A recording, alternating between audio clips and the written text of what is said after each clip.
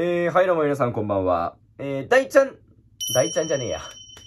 あ、まあ、大ちゃんか。大クストラのエキストラ。いやしょうもな。大チャンネルです。えー、ということで、えー、先日ですね、えー、私、新年一発目の質問コーナーの方を募集いたしまして、なかなか、えー、たくさんの質問をいただきまして、まあ今回ね、えー、新年一発目ということで、まあそれにお答えしていくということでございます。全部お答えしたかったんですけども、多分全部答えてたら1時間超えちゃうんで、えー、ちょっと今回はこの質問いいなーって思った質問を見ていきたいと思います。それでは早速行きましょう。はい、まずこれ。えー、無人島にロッテの選手を3人連れて行けるなら誰を連れて行きますか？まあ、まず同世代っていうところでもありますし、まあ、いろいろ会話とかも噛みは、噛み合うんじゃないかなっていうところまずローキでしょ？えー、まあ、それから、無人島にロッテの選手を3人連れて行けるなら、まあ、引っ張ってくれそうなマッスーかな。はい、増田投手。えー、そして、まあ、あと一人、俺選手じゃないけど、俺ちょっと吉井監督連れて行きたいです。はい。えー、続きまして、マリーンズの選手になるなら誰になりたいですか？そんなもん一択だろう。ダイクストラだろう。えー、次。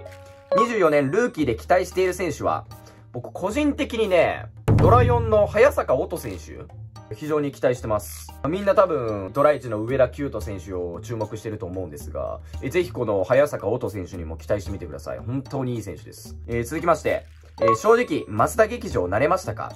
あの、増田劇場慣れることなんてないんですよ。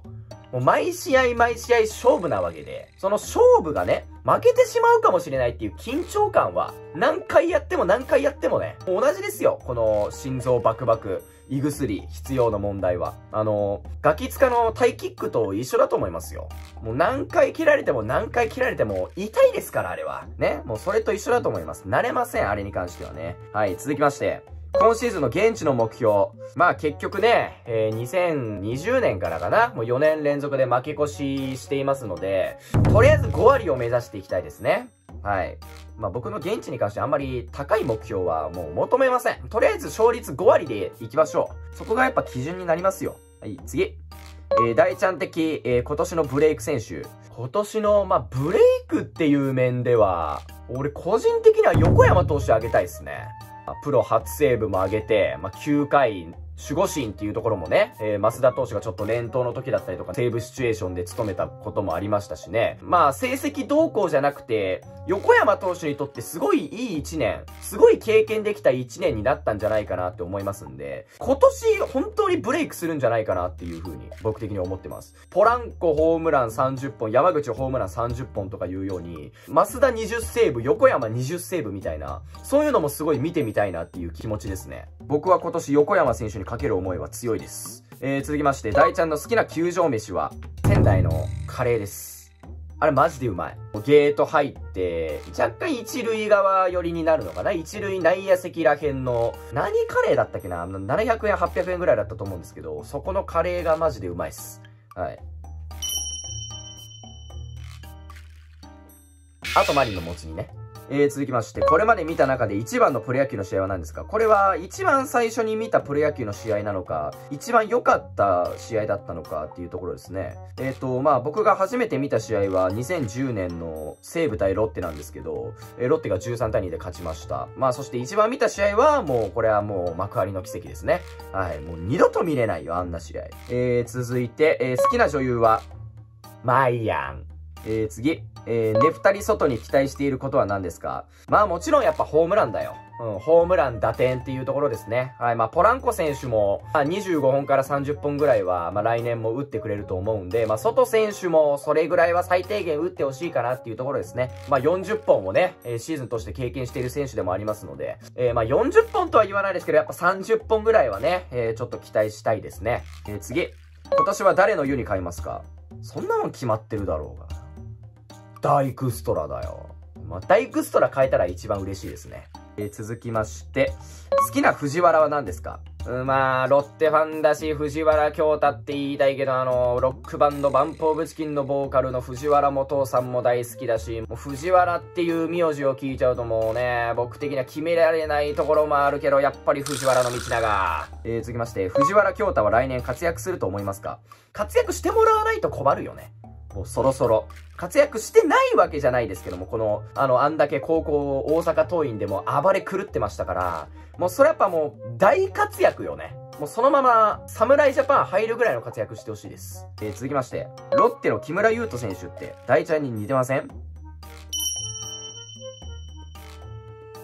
えー、次。おにぎりをこれからも食べ続けますか、えー、食べて食べて食べて食べまくります。何が悪い？えー、次。今年のロッテの一番の補強は誰だと思いますか？まあ、あの、外選手獲得してきたりとかね、えー、ポランコ選手残留したりだとか、いろんなニュースあってね、まあ、それから補強したりだとかしてきましたけれども、俺、なんやかんやね、ロッテの今年一番の補強、吉井監督続投だと思うよ。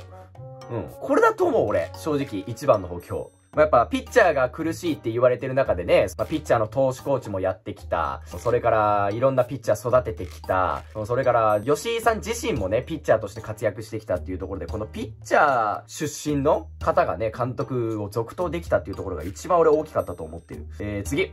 好きな球場ベスト3を教えてください。俺的には、3位、ハマスタかな。うん、3位ハマスタ。2位が、ベルーナかな。あの、ベルーナのいいところってね、あの、外野席まで背もたれあるからさ。で、飯もうまいし、見やすいし。やっぱベルーナっすね。1位やっぱ仙台。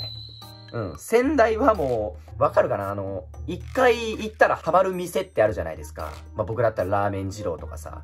そんな感じなんよ。もう、一回行って、帰ってる途中にまた行きたいってなるのね。うん。中毒性あるよ、あの球場。ね、仙台です、1位は。えー、次。今年最初に食べたおにぎりの具材は何ですか？塩。え、次。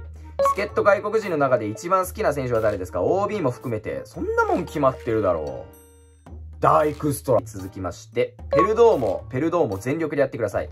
ペルドーモ、ペルドーいたしまして。うわー、しょうもな。頭痛い。今首振ったせいでめっちゃ、俺酒飲んでたら終わってたね。えー、次。自分が女になったとしてロッテの選手の誰を恋人にしますか？もうそんなもん決まってるだろうよ。ダイクス、ただただ、ダイクストラ大好き野郎になってるね。えー、次、好きなアーティストいますか？えー、もうバンプオブチキンですね。えー、次、モテる方法を教えてください。えー、モテる方法を教えてください。えー、続きまして、彼女はいますか？いません。だ、だから言ったでしょ？モテる方法を教えてくださいって。よろしくお願いします。これ最後の質問ですね。えー、全身全霊、よしめぐお願いします。ララララララ、よしめぐ、プープープー、おー、プー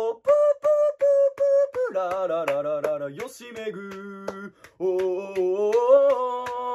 よしめぐよしめぐララララララララララよしめぐよしめぐララララララララララ。ラララララララよしめぐ。プープープー。おープープープープープー。よしめぐ。おー。